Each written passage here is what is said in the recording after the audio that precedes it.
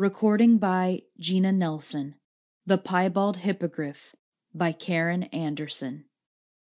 The edge of the world is fenced off stoutly enough, but the fence isn't made that will stop a boy. Johnny tossed his pack and coil of rope over it and started climbing. The top three strands were barbed wire. He caught his shirt as he went over and had to stop for a moment to ease himself off. Then he dropped lightly to the grass on the other side. The pack had landed in a clump of white clover. A cloud of disturbed bees hung above, and he snatched it away quickly lest they should notice the honeycomb inside. For a minute he stood still, looking out over the edge. This was different from looking through the fence, and when he moved it was slowly. He eased himself to the ground, where a corner of rock rose clear of the thick larkspur and lay on his belly, the stone hard and cool under his chin, and looked down. The granite cliff curved away out of sight, and he couldn't see if it had a foot. He saw only endless blue beyond, below, and on both sides. Clouds passed slowly. Directly beneath him there was a ledge covered with long grass where clusters of stars bloomed on tall, slender stalks. He uncoiled his rope and found a stout beech tree not too close to the edge. Doubling the rope around the bole, he tied one end around his waist, slung the pack on his back, and belayed himself down the cliff. Pebbles clattered, saxifrage brushed his arms and tickled his ears. Once he groped for a hold with his face in a patch of rustling ferns. The climb was hard, but not too much. Less than half an hour later he was stretched out on the grass, with stars nodding about him.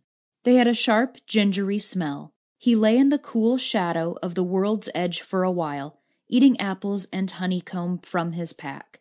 When he was finished, he licked the honey off his fingers and threw the apple cores over, watching them fall into the blue. Little islands floated along, rocking gently in air eddies. Sunlight flashed on glossy leaves of bushes growing there. When an island drifted into the shadow of the cliff, the blossoming stars shone out. Beyond the shadows, deep in the light filled gulf, he saw the hippogriffs at play. There were dozens of them, frisking and cavorting in the air. He gazed at them full of wonder. They pretended to fight, stooped at one another, soared off in long spirals to stoop and soar and stoop again. One flashed by him, a golden palomino that shone like polished wood. The wind whistled in its wings. Away to the left, the cliff fell back in a wide crescent, and nearly opposite him a river tumbled over the edge. A pool on a ledge beneath caught most of the water, and there were hippogriffs drinking. One side of the broad pool was notched.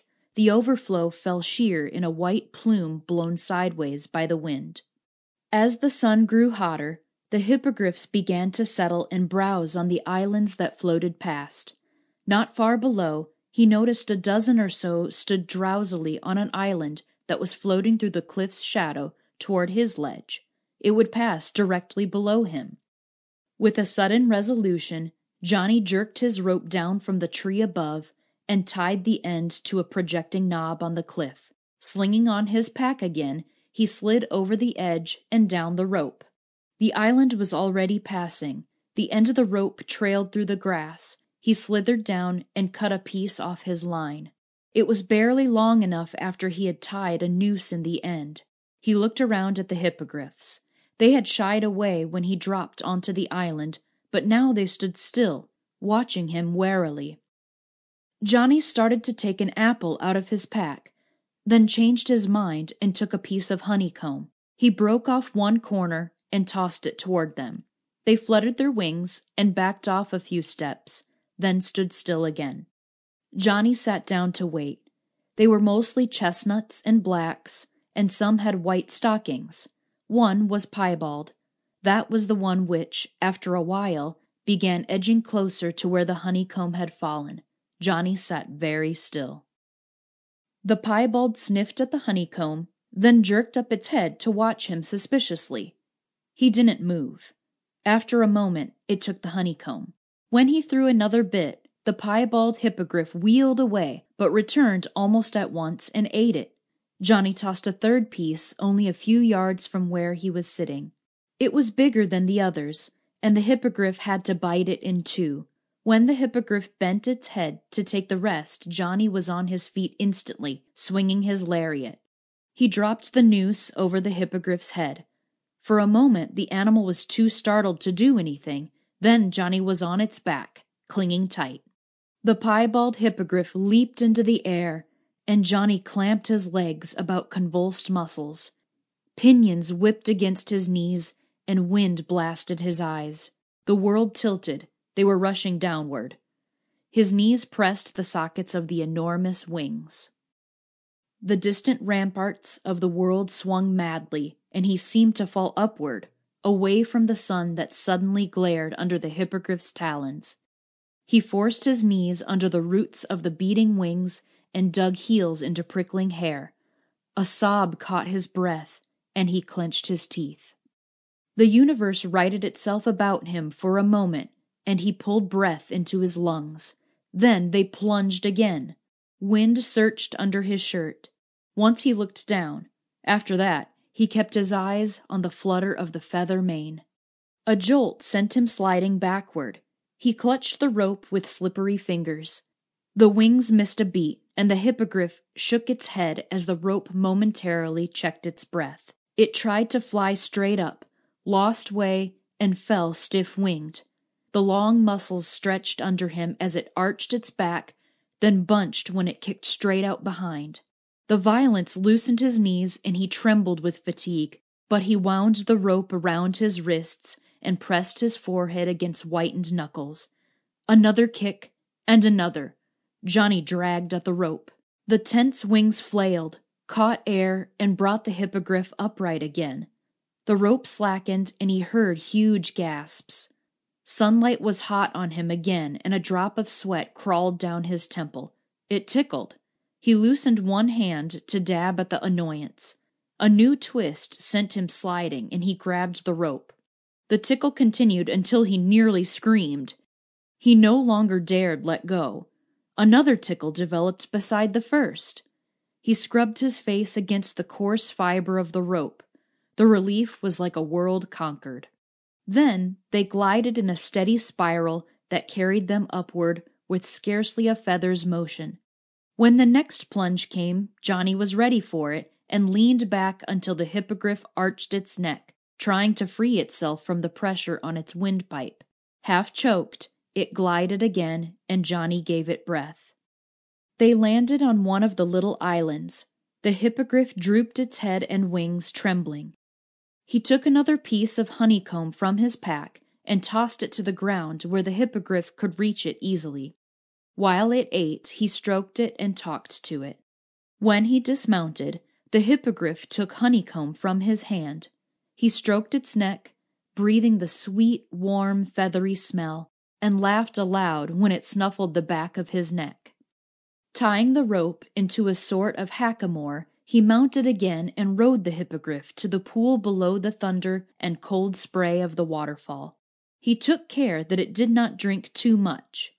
When he ate some apples for his lunch, the hippogriff ate the cores. Afterward, he rode to one of the drifting islands and let his mount graze. For a while, he kept by its side, making much of it. With his fingers, he combed out the soft, flowing plumes of its mane and examined its hoofs and the sickle like talons of the forelegs. He saw how the smooth feathers on its forequarters became finer and finer, until he could scarcely see where the hair on the hindquarters began. Delicate feathers covered its head. The island glided further and further away from the cliffs, and he watched the waterfall dwindle away to a streak and disappear. After a while, he fell asleep. He woke with a start, suddenly cold. The setting sun was below his island. The feathery odor was still on his hands. He looked around for the hippogriff and saw it sniffing at his pack. When it saw him move, it trotted up to him with an expectant air. He threw his arms about the great flat muscled neck and pressed his face against the warm feathers with a faint sense of embarrassment at feeling tears in his eyes. Good old Patch, he said, and got his pack. He shared the last piece of honeycomb with his hippogriff and watched the sun sink still further. The clouds were turning red. Let's go see those clouds, Johnny said. He mounted the piebald hippogriff and they flew off, up through the golden air to the sunset clouds. There they stopped and Johnny dismounted on the highest cloud of all, stood there as it turned slowly gray and looked into the dimming depths. When he turned to look at the world, he saw only a wide smudge of darkness spread in the distance. The cloud they were standing on turned silver. Johnny glanced up and saw the moon, a crescent shore far above. He ate an apple and gave one to his hippogriff. While he chewed, he gazed back at the world. When he finished his apple, he was about to toss the core to the hippogriff, but stopped himself and carefully took out the seeds first. With the seeds in his pocket, he mounted again. He took a deep breath. Come on, Patch, he said. Let's homestead the moon. The end. End of The Piebald Hippogriff by Karen Anderson.